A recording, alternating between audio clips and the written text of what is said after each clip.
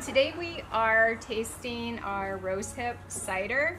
This is made uh, from South Dakota apples, a blend of South Dakota apples from Kraus Family Orchards uh, near Glenham, South Dakota. And it was co-fermented with hand-picked wild rose hips uh, here in South Dakota as well. I think the um, rose hip really brings out the apple as well.